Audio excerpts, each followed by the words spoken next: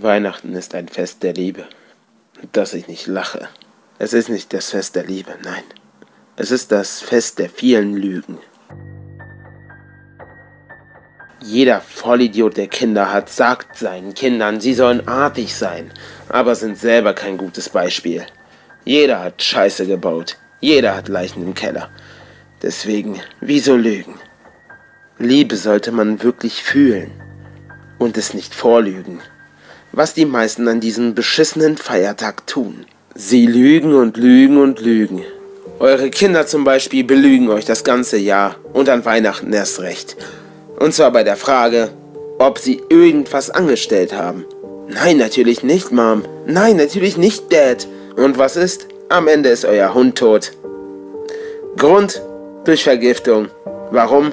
Weil eure dummen Kinder ihm Schokolade gegeben haben, obwohl ihr gesagt habt, sie sollen es nicht tun. Und eure Eltern erst recht, die lügen doch schon, schon ständig.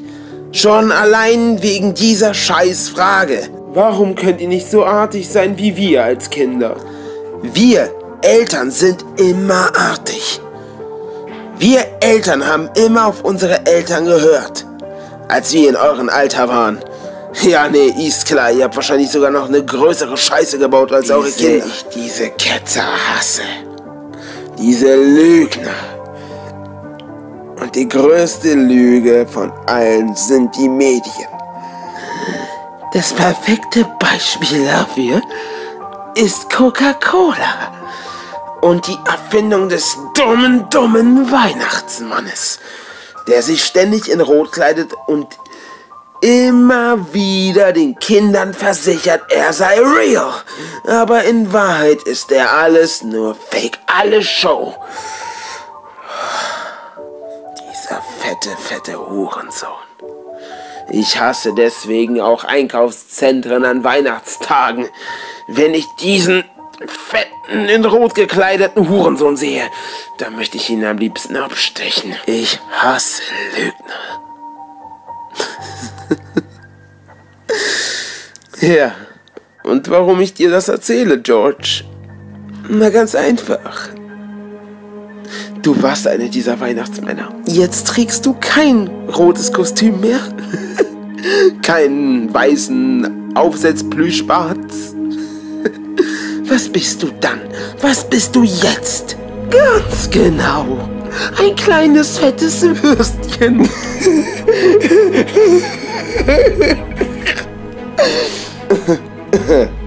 Noch dazu ein arbeitsloser Hartz-IV-Empfänger.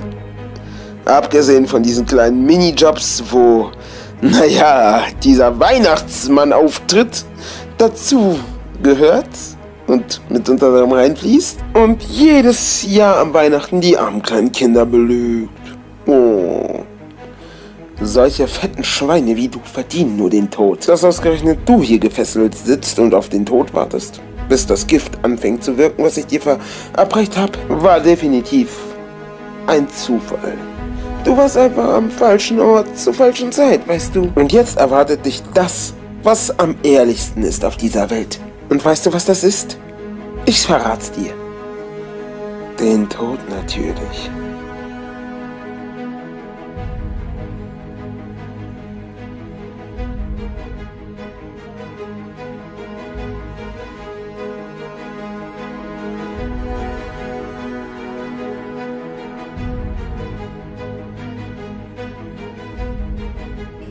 So, howdy Home Creepy Fans, ich hoffe, es hat euch gefallen, dieses kleine Video, diese kleine Creepypasta von mir. Äh, ich habe ja gesagt, die Woche kommt noch eine Creepypasta, heute ist der Tag.